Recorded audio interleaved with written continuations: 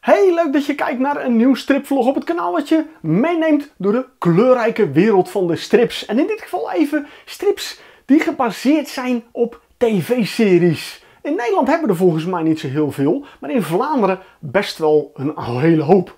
Ik heb hier even drie strips en je ziet hier de verschillende tv-zenders die hierachter zitten. Uh, er zijn pas geleden een aantal hele leuke strips uitgekomen bij Standaard Uitgeverij. Die hebben ze mij opgestuurd om te bespreken met jullie. Een aantal heb ik er al van besproken. Maar deze zou eigenlijk ook in dit vlogsegment kunnen vallen. Want ook Nachtwacht is gebaseerd op een tv-serie. Want op de achterzijde, daar zie je de verschillende acteurs die de leden van de Nachtwacht spelen. Dus eigenlijk hoort deze erbij. Maar ja, ik heb deze al besproken in een ander vlog. Dus vandaar dat ik het heel eventjes ga houden bij deze twee. Nou, buurtpolitie, daar heb ik al vaker vlogs over gemaakt. Daar ga ik zo meteen even wat over vertellen.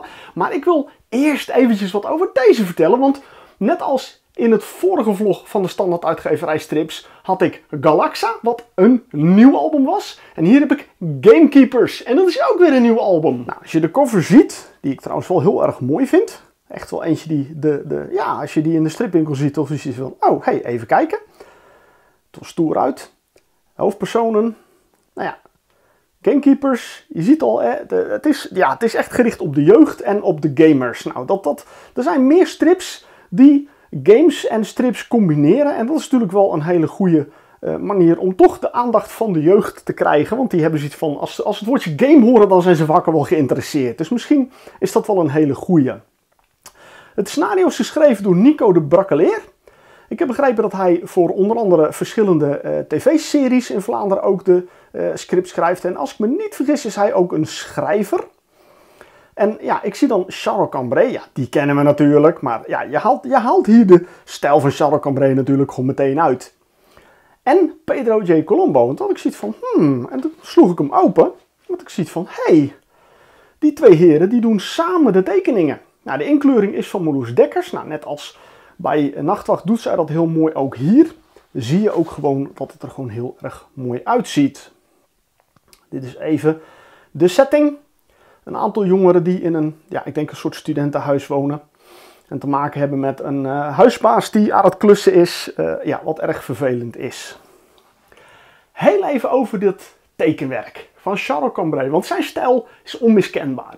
Maar Pedro. Colombo, hoe zit dat nou? Nou, daar was ik benieuwd naar. En zoals je weet, mijn vorige vlog waarin ik Nachtwacht besprak, uh, ja, had ik ook zoiets van, hey, ik zie ook twee namen staan. Daar ben ik ook even ingedoken. Nou, dat heb ik hier natuurlijk ook even gedaan. Ik heb even contact gezocht met Charles Cambrai en gevraagd van, goh, hoe zit dat nou even, dat tekenwerk? Nou, hij stuurde mij even wat dingetjes toe. En die wil ik heel erg graag met jullie delen. En dat is een sneak preview voor een volgend deel. Want dat zijn platen die niet in deze zitten. Dit zijn de schetsen die Charles Cambrai maakt. Uh, dat is de basis. En vervolgens gaat Pedro J. Colombo, die gaat die schetsen uitwerken en dan krijg je dit.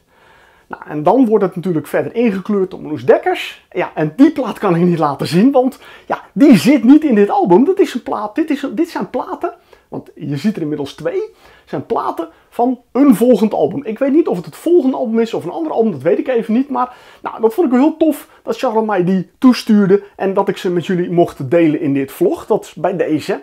Goed, even terug naar de strip, naar het eerste deel. Want ja, hier wordt het toch even in bekend gemaakt. Nou, hier hebben we de Game Master, die dus net een spel opstart en die een voorwerp in de echte wereld brengt. En die, dat voorwerp, dat, dat, daar is iets mee.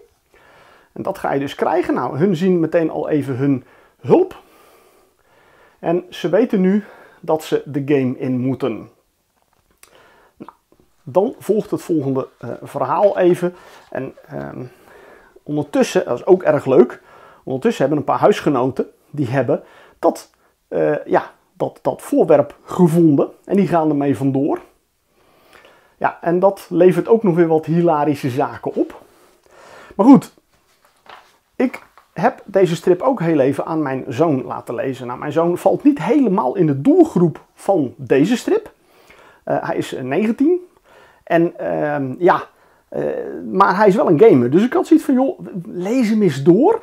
Ik, ik wil gewoon eens weten wat jij ervan vindt. Even, als zij dit opzetten, dan kunnen ze zich in één keer teletransporteren ergens, teleporteren. Ja.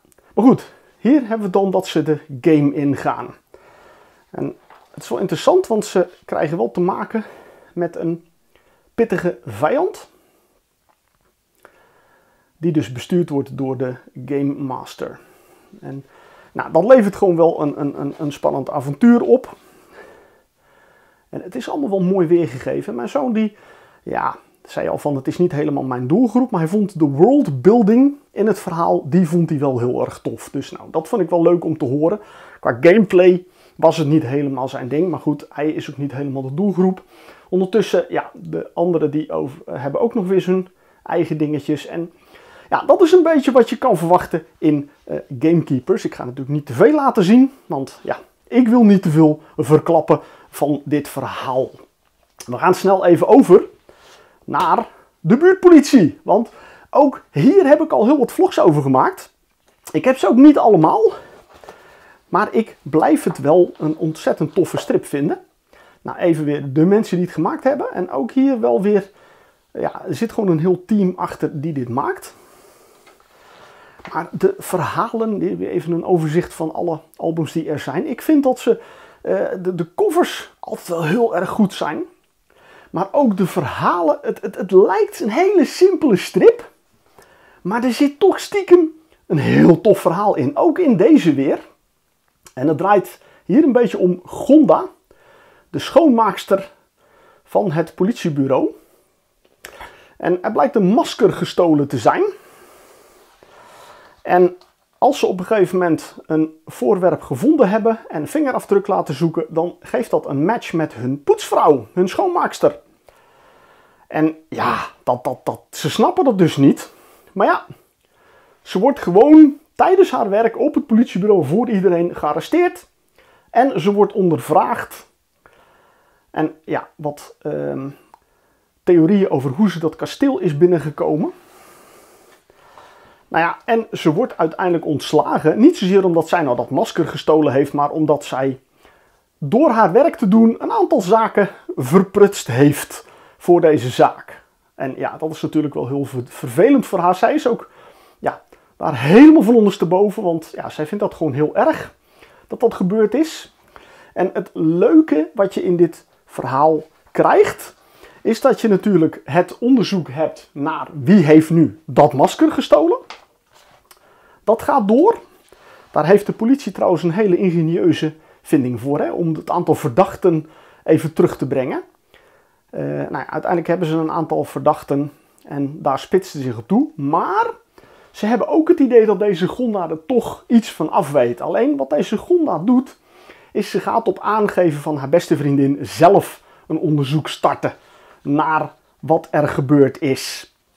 En ja, dat, dat levert ook weer een hilarisch avontuur op. Ik ga niet te veel hiervan laten zien, want uh, het, het leukste zit, komt echt nog. Maar ja, ook dit is gewoon weer een geweldig album. En elke keer weer heb ik zoiets van, weet je wat, laat ik er weer eens eentje lezen. En elke keer weer heb ik zoiets van, joh, dit is gewoon weer een ontzettend gaaf verhaal. Maar ook deze vond ik zeker heel erg leuk om te lezen. Dit is niet helemaal natuurlijk ook mijn doelgroep.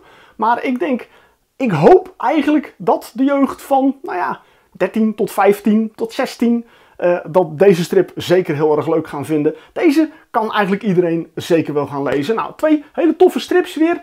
Uh, heb je ze gelezen? Laat even weten in de comments wat je ervan vond. Uh, heb je zoiets van, goh, nou, leuk, zie ik wel zitten. Ga naar de stripwinkel, ga ze daar halen, ga lezen. Laat in de comments weten wat je ervan vond, want daar ben ik natuurlijk zeker benieuwd naar. Vooral even naar Gamekeepers, daar ben ik heel benieuwd naar van, wat, wat, wat vind jij daarvan? Is dit iets voor jou of ken je iemand die dit misschien wel heel leuk zal vinden? wijs ze dan vooral op. Hè? Ik bedoel, strips hoeven niet altijd iets voor jou te zijn of voor mij te zijn.